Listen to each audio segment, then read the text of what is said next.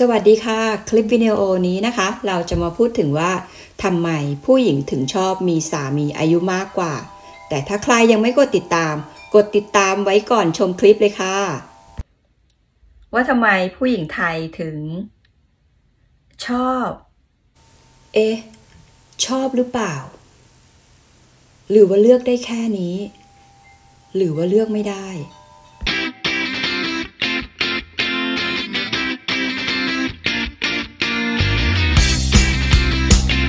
ไม่สิทำไม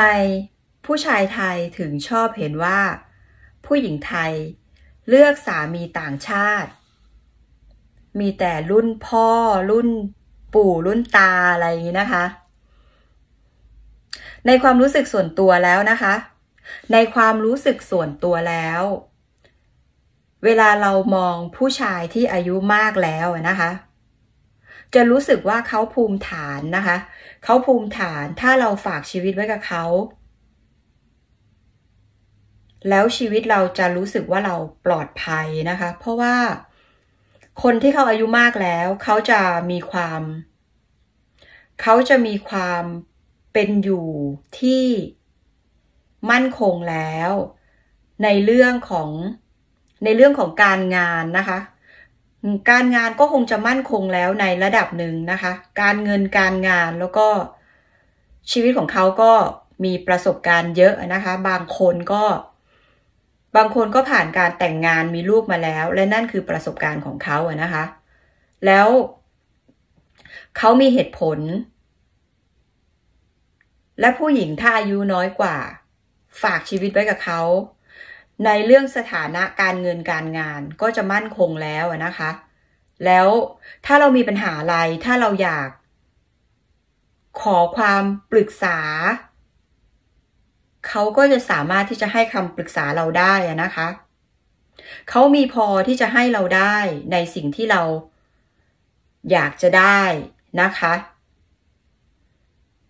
ผู้ชายอายุมาก เขาผ่านการทำงานมาเยอะแล้ว เขาก็มีเงินเก็บเงินก้อน พอสมควร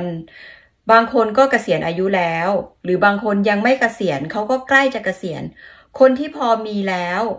คนที่คนที่พอมีแล้วหรือว่าคนที่เขามีพอแล้วนะคะ ส่วนมากคืออายุมากแล้วนะคะ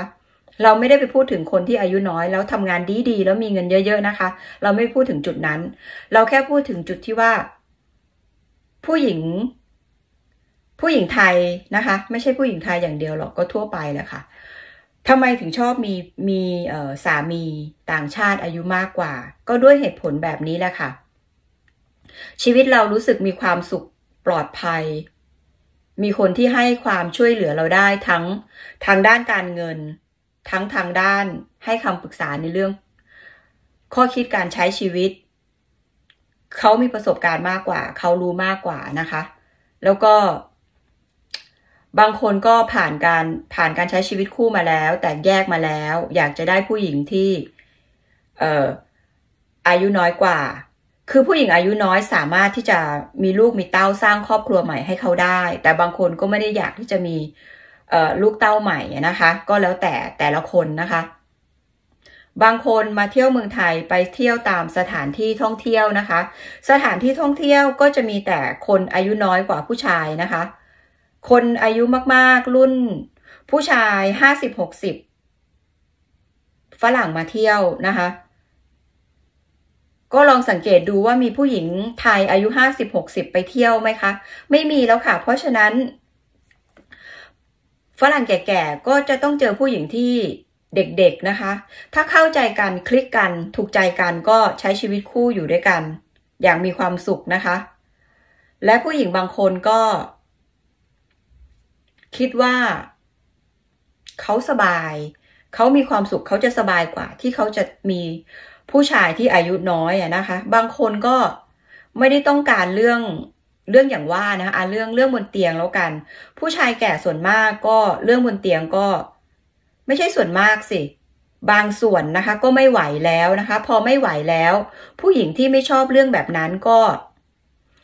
ก็คือก็คือชอบเลือกที่จะเลือกผู้ชายแก่นะคะ เพราะด้วยเหตุผลที่ว่าไม่ต้องอะไรมากกับเรื่องนั้นนะนะคะ อันนี้น่าจะเป็นอันนี้คือความคิดเห็นของตัวส่วนตัวของเราเองนะคะ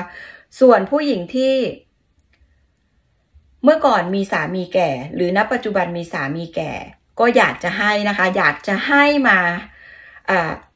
คอมเมนต์ไว้ให้ข้อคิดเห็นนะคะว่ามีส่วนดี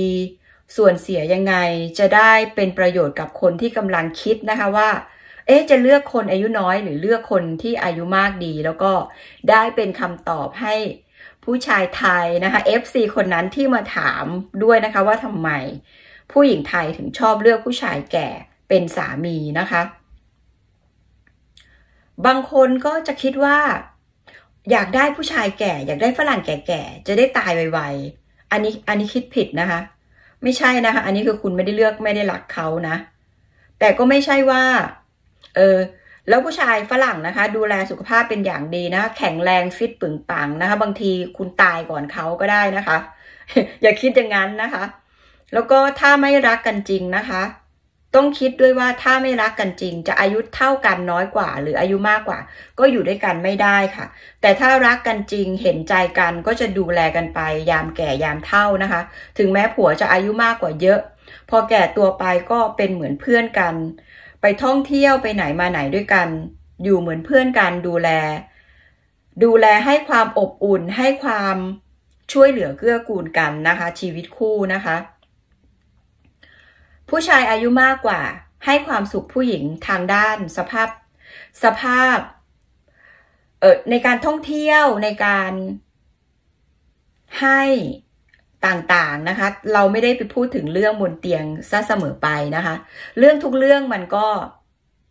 มันก็อยู่ด้วยกันนี่แหละค่ะ ถ้าไม่รักกันจริง ถ้าไม่พร้อมที่จะอยู่ด้วยกันจริง ยังไงมันก็อยู่ด้วยกันไม่ได้นะคะ คนที่อายุมาก ให้ความอบอุ่นเราได้ ให้คำปรึกษาเราได้ ดูภูมิฐาน ดูเพรียบพร้อม ดูใจดีนะคะสำหรับผู้ชายที่อายุมากกว่าเราเยอะเขาเห็นเราเป็นเด็กเขาก็จะเอ็นดูเรานะคะก็คลิปวิดีโอนี้นะคะ ก็ไม่ได้มีอะไรมาก ก็นี่คือความคิดเห็นส่วนตัวนะคะ คนแก่ใจดี ภูมิฐาน นะคะ ก็แล้วแต่บุญภาวาสนาส่งใครไปเจอใครนะคะ ผัวฝรั่งไม่ได้หากันง่าย ๆนะคะ แต่ถ้าเจอแล้ว รักกันอยู่ด้วยกัน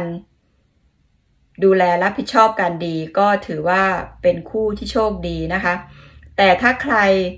อายุน้อยหรือจะอายุมากถ้าไม่รักกัน มีแต่คิดว่าจะเอาเปรียบกัน หรือว่าไม่ให้เกียรติกัน ยังไงมันก็อยู่ด้วยกันไม่ได้นะคะ เจอกันแล้วดูแลกันไปนานๆ ให้เกียรติกันไปเรื่อยๆ อย่า อย่าทำร้ายกันทั้งทางด้านร่างกายและจิตใจ อย่าโกหก อย่าหลอกกัน อันนี้คือที่สำคัญนะคะ ไม่ว่าชาติไหนชาติไหนนะคะ ให้เกียรติกันยอมรับฟังกัน มีปัญหาปรึกษากัน ทุกสิ่งทุกอย่างเป็นไปได้ค่ะ คลิปวิดีโอนี้มีเท่านี้นะคะ เจอกันใหม่คลิปวิดีโอหน้าค่ะ สวัสดีค่ะ